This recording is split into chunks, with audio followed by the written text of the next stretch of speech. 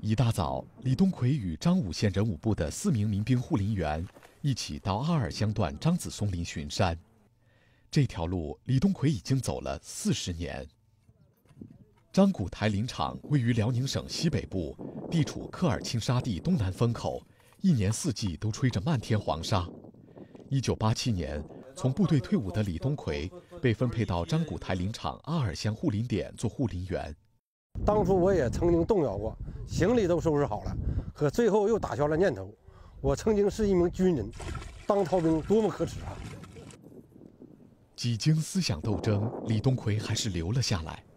一个人种树治沙，一个人巡逻护林，一人一马与寂寞为伴，以山林为家。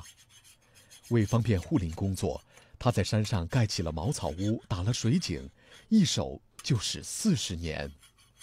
那就苦，那都没法说了。那没电，没水，白天呢都害怕，别说黑天晚了，就是那个蛇也相当多。快米快面的时候，那一个一个大黑蛇立立着。晚上睡觉的时候，那蛇也就从那个房顶上吧当吧当往下掉。坚守林场已相当不易，而在沙漠种树更是难上加难。为了加固这道阻拦风沙南侵的绿色屏障，春天李东奎顶着风沙，担着水，走上两三公里才能把树苗种下。夏天，李东奎在四十多摄氏度的高温下。为树苗反复浇水，防止枯死。每年新栽种的树苗还没有在沙漠里扎根，就被沙尘暴连根拔起，拔起了再种，不知补种了多少回。在知道李东奎老班长的护林事迹后，我们人武部每年都请他给民兵讲述治沙故事，组织民兵同他一起植树造林、巡逻护林。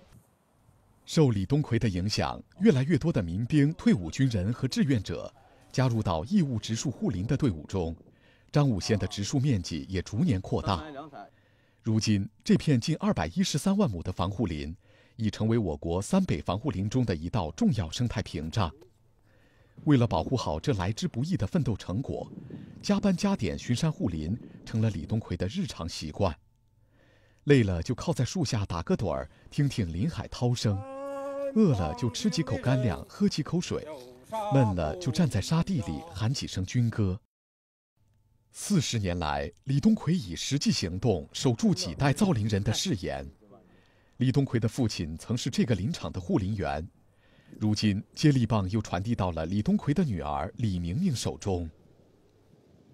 现在守护林海也是我的重要职责，我要接好父亲的治沙的接力棒，成为爷爷和父亲之后的。林三代。